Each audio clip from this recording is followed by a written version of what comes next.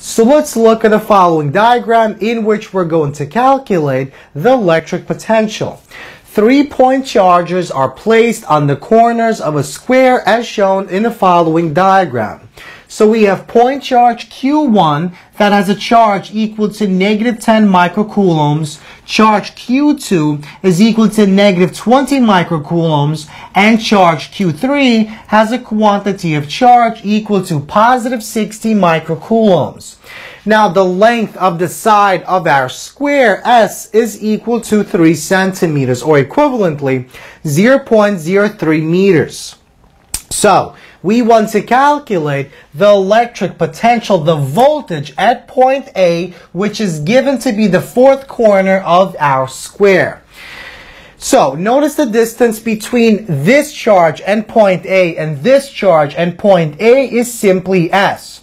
But the distance between point charge 1 and A is given by radical 2 multiplied by the length of the side. So how exactly are we going to go about calculating the voltage at point A as a result of these three point charges? So we essentially need to calculate the voltage at point A as a result of each individual charge and then to find total charge, we simply take the algebraic sum. And that's because voltage is not a vector, voltage is a scalar, and that means to find total voltage, we simply take the algebraic sum of all the voltages. So, we begin by assuming that at a distance infinitely far away from these point charges, the voltage is zero, and that allows us to use the following equation. So this equation gives us the voltage, the electric potential near a stationary point charge, where r is the distance between that particular point charge and the point at which we're examining the voltage. So, Let's begin by calculating each individual voltage as a result of each individual charge. So V1 is the voltage at point A as a result of charge Q1. So we use this equation.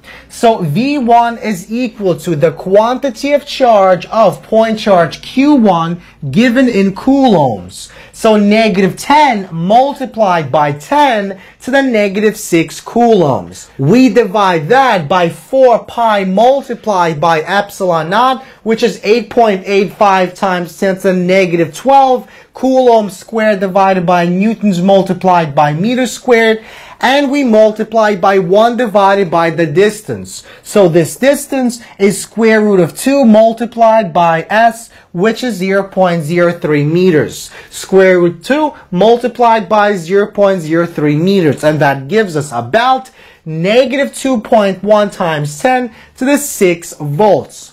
Now we can find the voltage as a result of Q2 at point A in the same exact manner. We plug in our quantity of charge, which is negative. We plug in our distance, which is 0.03 meters, and we get negative 6 times 10 to the 6 volts.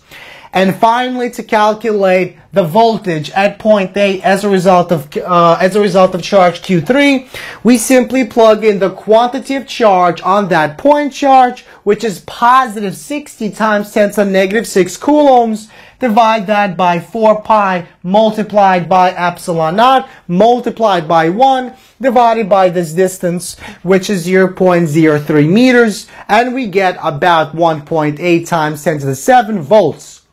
So, to calculate the total voltage at point A, we simply take the algebraic sum of these three voltages. So V total is equal to V1 plus V2 plus V3, and that gives us about positive 9.9 times 10 to the 6 volts is the voltage, is the electric potential at point A as a result of these three stationary point charges.